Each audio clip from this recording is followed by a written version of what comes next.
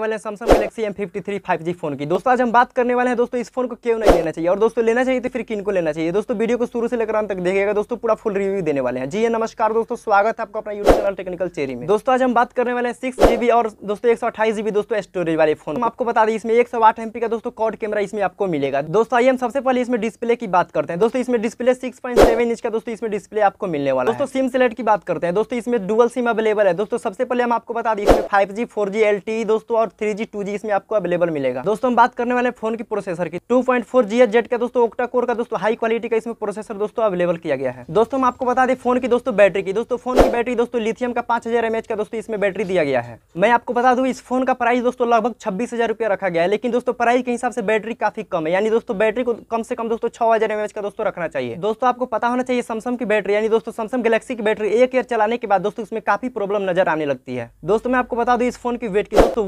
176 ग्राम का दोस्तों इसका वेट रहने वाला है। इस फ़ोन की दोस्तों कैमरा की बात करते हैं। दोस्तों इस फ़ोन की कैमरा काफ़ी तगड़ा दिया गया है। दोस्तों सैमसंग में दोस्तों सबसे तगड़ा दोस्तों फ़ोन की कैमरा दोस्तों मुझे लगा तो एक सौ आठ एमपी का दोस्तों इसका कैमरा लगा। कैमरा की बात करते हैं। एक सौ आठ एमपी प्लस आठ plus two plus two MP का दोस्तों इसके फोर दोस्तों इसमें कैमरा दोस्तों अवेलेबल किया गया है। मैं आपको बता दूँ रियर कैमरा ही नहीं बल्कि दोस्तों इसका फ्रंट कैमरा भी काफ़ी तगड़ा है। दोस्तों इसका फ्रंट कैमरा बत्तीस एमपी का दोस्तों इसमें अवेलेबल किया गया है जो कि दोस्तों फ़ोटो लेने पर काफ़ी दोस्तों बहुत बढ़िया दोस्तों इसका फ़ोटो आता है। दोस्तों इस फ़ोन की दोस्तों पूरा बायोडाटा हम आपको बता दिया। अब दोस्तों हम आपको मेन बात बताते हैं कि दोस्तों इस फ़ोन को दोस्तों क्यों नहीं लेना चाहिए। और दोस्तों, लेना चाहिए तो फिर किन को लेना चाहिए? दोस्तों, इस फ़ोन की मेन पॉइंट हम आपको बता दें, इसमें बैटरी काफ़ी दोस्तों कम है। यानी दोस्तों प्राइस के हिसाब से इसमें बैटरी और ज़्यादा देना चाहिए, क्योंकि दोस्तों, इसका बैटरी पाँच हज़ार एमएच का दोस्तों, कम से कम दोस्तों, छह हज़ार एमएच का दोस्तों, इसका बैटरी होना चाहिए। दोस्तों, अगर आप कैमरा के हिसाब से इस फ़ोन को लेना चाहते हैं, दोस्तों, आप इस फ़ोन को ले सकते हैं, क्योंकि दोस्तों प्राइस के हिसाब से इसका कैमरा काफ़ी तगड़ा दिया है। तो अगर आप इस फ़ोन को लेना चाहते हैं तो दोस्तों, आप ले सकते हैं, लेकिन दोस्तों, इसका माइनस पॉइंट है कि इसमें दोस्तों चार्जर नहीं दिया जाएगा। दोस्तों आप निष्कर्ष निकाल सकते हैं, बिना चार्जर का दोस्तों, फ़ोन क्यों लेंगे? दोस्तों, अगर आप फ़ोन खरीदते हैं तो दोस्तों आपको अलग से पैसा देकर आपको बाद में दोस्तों चार्जर लेना होगा। दोस्तों, मैं आपको बता दूँ, अगर फिर भी आप फ़ोन लेना चाहते हैं, दोस्तों, मैं वीडियो के डिस्क्रिप्शन में मैं लिंक डाल दूँगा। दोस्तों, आप लोग वहाँ से लीजिएगा और दोस्तों कार्ड का यूज़ कीजिएगा। तो दोस्तों, आपको 10 से 12 परसेंट तक का छूट मिलने वाला है। दोस्तों, मैं आपको ज़बरदस्ती नहीं कहूँगा कि आप लोग इस फ़ोन को लीजिए, क्योंकि दोस्तों, इसका मेन पॉइंट है कि इसमें दोस्तों चार्जर नहीं दिया गया है। चलिए दोस्तों, आप फटाफट लिंक पर क्लिक करके आप दोस्तों चेकआउट कर सकते हैं। दोस्तों, आप लोगों को वीडियो अच्छी लगी होगी तो वीडियो को लाइक कर दीजिएगा और दोस्तों टेक्निकल चेरी पर अगर नए हो तो टेक्निकल चेरी को सब्सक्राइब करके नोटिफिकेशन ऑन कर दीजिएगा। चलिए, मिलते हैं अगले वीडियो में, तब तक के लिए गुड बाय टेक केयर जय हिंद, जय भारत।